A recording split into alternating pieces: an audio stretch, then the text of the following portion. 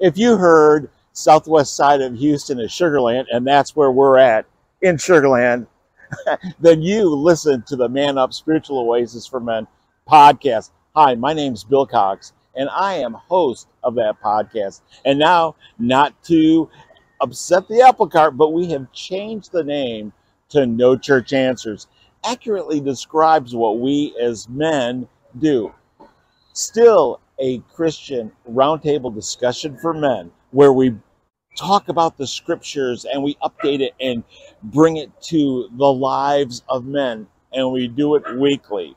So make sure that you tune in where you get your favorite podcasts, Apple's podcast, Spotify, and remember, no church answers. I'm Bill Cox.